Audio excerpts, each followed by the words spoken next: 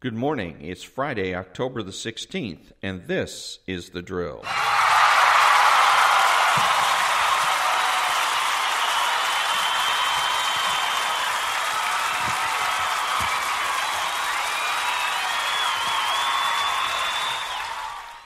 Thank you, thank you. The uh, prayer of the day comes from dailyscripture.net. Lord Jesus, may the light of your word free my heart from the deception of sin and consume me with a burning love for your truth and righteousness. Amen. Remember that we have free will and that we are moral agents. Only one agenda item for today, and that uh, item is part two of an article from American Conservative Magazine titled Counterfeiting uh, Conservatism. So, but I'm going to start from uh, part one from uh, yesterday and then continue on to part two. And uh, so that's Counterfeiting Conservatism Amer- from the American Conservative Magazine, written by Patrick Deneen. Conservatism is the ism that came into being to resist the existence of isms. This makes for a potentially insurmountable challenge how to evince a political belief that avoids the rigidity of ideology. Can one take a political position without becoming a political program? Can the principle stand against a politics based upon the application of universalized principle avoid itself becoming universalized? From the first moment that conservatism was articulated as a philosophy, a philosophy of tradition was born, distinct from the unconscious practices that make up any given tradition. Conservatism was thus defined by its opposition to a radical adversary. The dangers of various ideologies to traditional practice forced conservatism to articulate itself in ways that were distinctly unconservative. Ironically, every time conservatism scored a point intellectually or politically, it lost ground, since its very articulation depended on terms set by its opponent. Given that which is called conservatism originated in ways that can cut against the conservative temperament, over time it's hardly surprising that conservatism has begun to resemble reactionism. Reactionary positions not only in tactics, but in content.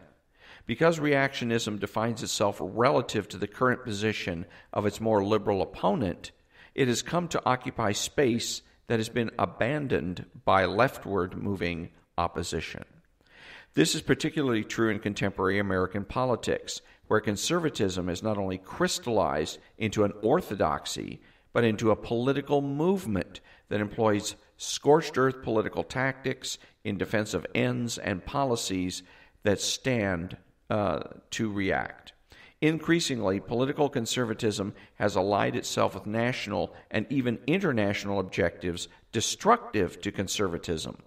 Reactionaries increasingly demand support for the expansion of military and economic power, resource exploitation with little discussion of impact upon future generations, a globalized market, a standardization of law that is increasingly unreasonable, democratization abroad, federal rather than local allegiances, mobility, and a loose affiliation with corporations and the financial world. In diagnosing the transformation of contemporary American conservatism in uh, an increasingly monolithic and even ideological movement, I would point to two developments. First, changes in electoral politics, particularly the primary system, have rewarded ideological purity over prudential reasoning and due regard for the uh, particular. Second, in response to increasingly nationalized and radicalized forms of liberalism, conservatism has tended over time to occupy the space abandoned by the leftward trajectory. While more conservative than its liberal counterpart, conservatism has thus become more ideologically liberal. The direct primary was an innovation of the progressive movement during the 20th century aimed at removing the power of the nomination from party bosses huddled in smoke filled back rooms, it was hoped that the direct primary would open the process to the people. Progressives of both parties, whether Democrats such as Woodrow Wilson or Republicans such as Theodore Roosevelt, supported the idea. But in a prescient article entitled The Direct Primary, Princeton political scientist Henry Jones Ford warned that direct primary might take power out of the hands of party chiefs, but it would not result in people's democracy. Instead, he warned, the power would flow to other places that would systematically benefit from the new arrangements.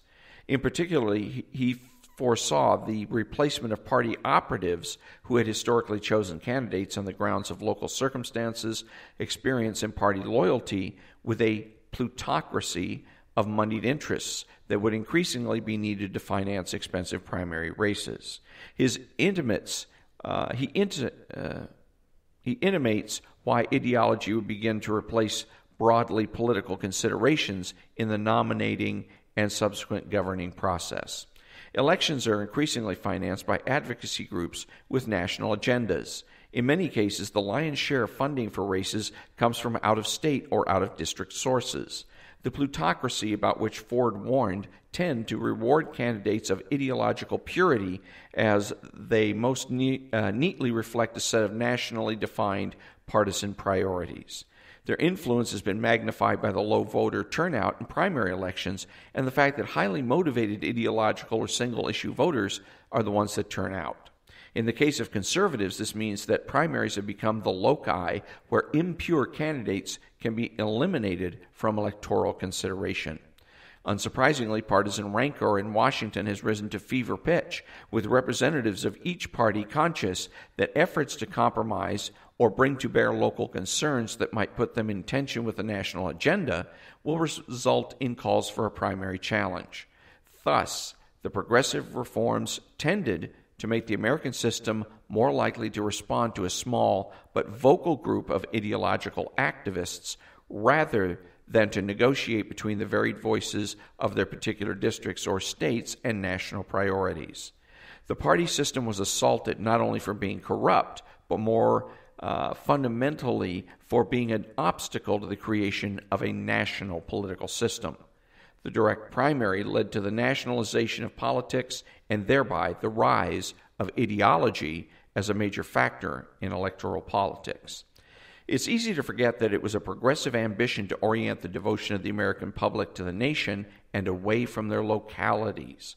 The Pledge of Allegiance was written in 1892 by Francis Bellamy, a Christian socialist, cousin of socialist utopian Edward Bellamy. Such advocates of nationalism saw particular and mediating allegiances as a danger to liberal democracy and instead advanced efforts to instill fealty to the nation. Thus, American history increasingly became focused on learning about the Declaration and the Constitution rather than particular people of achievement, such as Paul Revere, Betsy Ross, and Nathan Hale people with strong local affiliations to boot.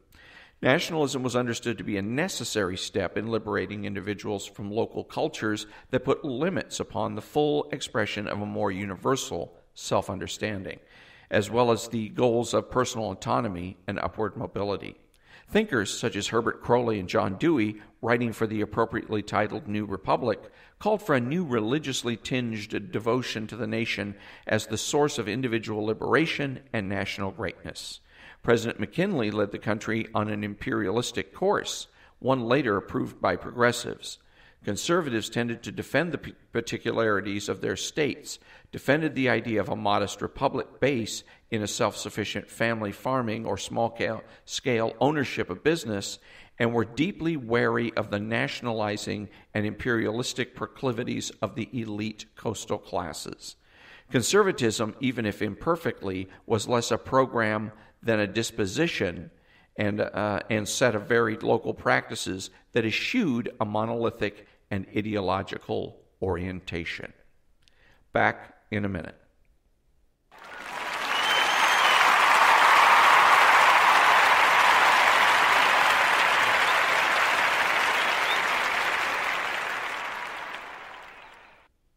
Thank you very much. Who is the socialist? He is the man that seeks consensus rather than develop his own opinions. He is subjective, petty, and small, taking everything in life personally.